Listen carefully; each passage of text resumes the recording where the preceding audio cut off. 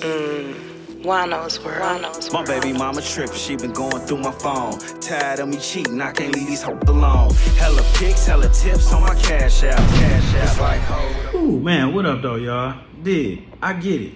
To some of y'all, it's okay to waste your time. To some of y'all, it's okay to get people to prepare for things that you know you're not gonna see through.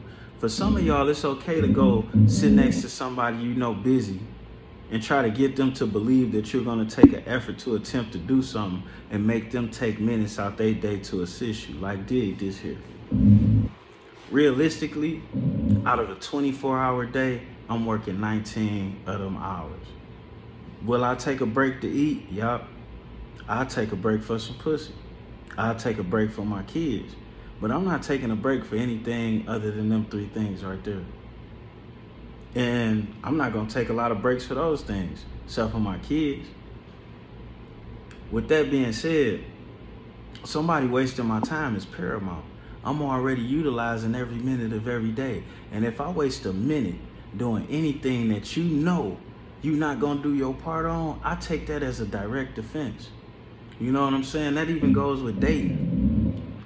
If you want me to miss making money to spend time with you, on top of spending money to spend time with you, and you can't offer me or help me get any money, or help me secure any money, or I look at you and you're a liability, you're a bill, you're a dependent, your credit score is bad, your car is old, your children's father is, is missing. Like, be realistic. It don't matter how much I like you. Without you being cooperative or a part of what I have going on, you're a liability, a dangerous liability at that. Facts. And the fact of the matter is, let's say I make $25 an hour and I could work Saturday night and make, what's it, 25 $40 an hour. And I say, forget working Saturday night and I miss that 45 an hour by 10 hours, that's $450, right? And then I go out with you and I spend $300, right?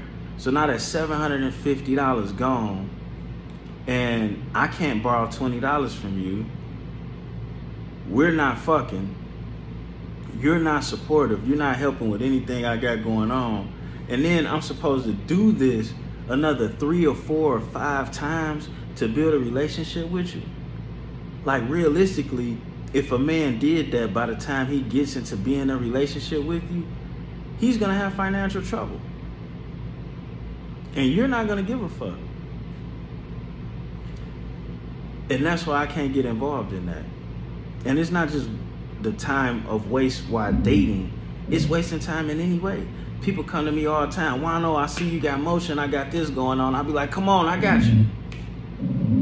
And then it's like, how you ain't got time for your dreams? How you ain't got time for your opportunity? It's nothing for me to blow somebody up. How you ain't got time for it? Or how you coming to me to promote yourself or what you're doing to me before you prepare yourself to actually do it? There's nothing wrong with being full of shit. But it is something wrong with you bringing me that full of shit bad. It is something wrong with you expecting me to care more about you and your dreams than you care about yourself. It is something wrong with you expecting me to, to give you a certain degree of respect that you didn't give yourself. It's something wrong for you wanting me to value your time when you didn't value your time. It's, it's a problem when you want me to appreciate the fact that you're a parent when you didn't appreciate what it was gonna take to be a parent. It was just some shit you did. You know what I'm saying? And I have a problem with people putting standards on their dealings with me that they never put on themselves. You want me to treat you respectfully, but you've been disrespecting yourself. You've been disrespecting your kids. That's why their father's missing. Because relationship was good before y'all had kids. So that meant every little bit of him being a piece of shit was attractive to you. But now you got the kids, you get the government assistance he got to pay. So now you can get 60% of what it costs to be a mother from him, another 40% from the government, and then whatever you mm. make for yourself, you can keep to yourself. You can get a lot of help from your family, and then you can turn around and find some simp ass nigga to follow all the rules that your baby daddy wouldn't. And now you're getting 130% on the dime. I guess it wouldn't be a bad hustle. That's how I mean that's how I see it being worked. It's just I can't be that nigga, baby. I can't even do it. I can't give you more respect than you gave yourself. And to some of these niggas out here, I can't give y'all more opportunity than you gave yourself. If I open the door for you, or I extend my platform to you, or if I extend my money to you, my investment to you, my connections, my whatever it is that you need to get over that hump, and you can't do your part, then really, fuck you. I'm to the point now where it's like, and this isn't about nobody specifically, but I'm to the point of me getting to this point, I pretty much had to do my damn self. So, and didn't nobody care about helping me, not helping me? Didn't nobody care about getting in my way, making shit harder for me, or none of that shit. And I didn't hate them for that. So, when I take it out the kindness of my heart or my moral code to make sure I don't treat nobody like that, but then they don't even appreciate the opportunity, then it is what it is. No different than some of these women that be wanting to date me, they want to be my woman, but it's like, baby, you ain't qualified to stand in the number one position. But you can come pick some cameras up, you can come suck some dick, and and yeah, you can get some shit taken care of. You might get treated real well, but you are in no way, shape, form, or fashion position to stand as my partner. That'll fuck up my empire.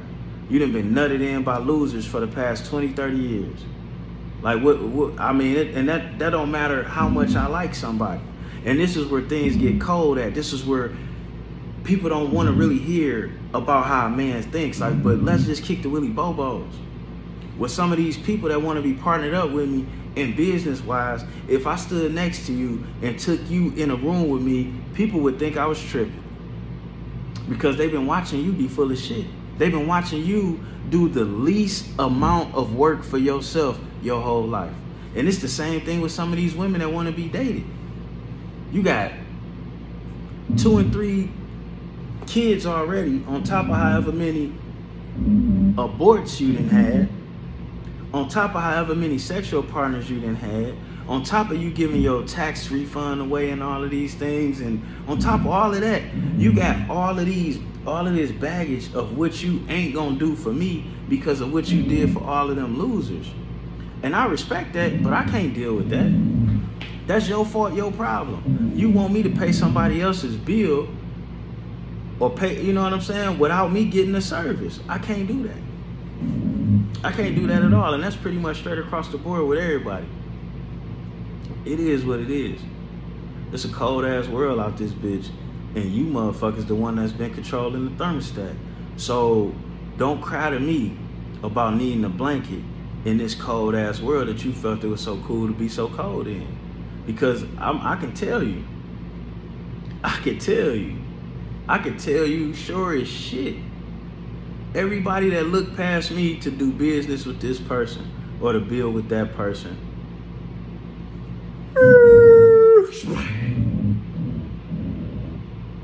Relationship wise, the women that be hollering at me now that had the opportunity to be my number one when it would have made value for us, the shit that they doing now. Now, motherfuckers had a whole lot to say about, say to me about why whatever it was we came together to do didn't work.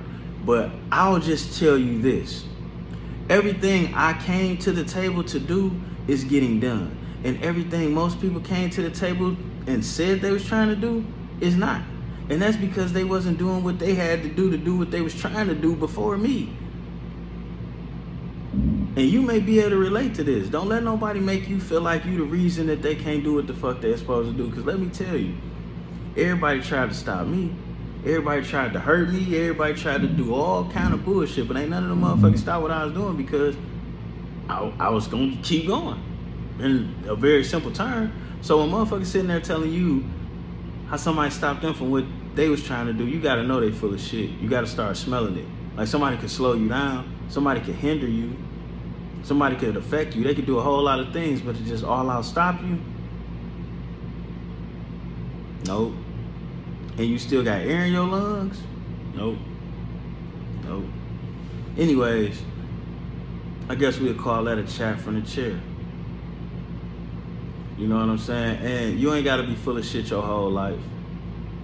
We out.